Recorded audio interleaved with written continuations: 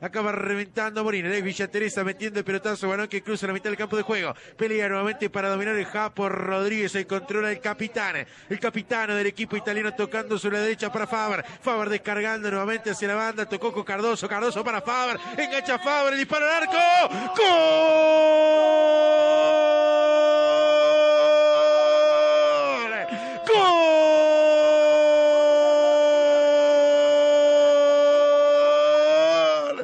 ¡Gol! De Italia apareció Faber, notablemente para enganchar de derecha a izquierda para escribir una maravillosa jugada para mandarla a guardar y de esta manera el equipo de Bella Italia encontrará el primer tanto en el partido para que el equipo italiano aparezca fuerte en el marcador en esta jornada de Parque Palermo para que Faber escriba el tanto que abre el marcador 1 a 0 Ve la chocata, maravillosa jugada. Este equipo de Bella Italia, este equipo que intenta hacer sensación en un futuro en el fútbol uruguayo. Bueno, Faber, ese que escribe el primer gol, por lo menos acá por la raya. Con el fútbol de primera amateur de esta temporada. Bella Italia 1, Cooper 0, Faber el gol. Toda del número 15, que agarró la pelota fuera del área, que descargó para Rodrigo Gómez. Gómez de primera termina devolviéndole a gentileza. Y una vez que se mete al área, Gastón Faber queda mano a mano con Barrios, define de pierna derecha, la cambia de palo, la pone contra el vertical izquierdo. Golazo de Gastón Faber que hace que Bella Italia 43 minutos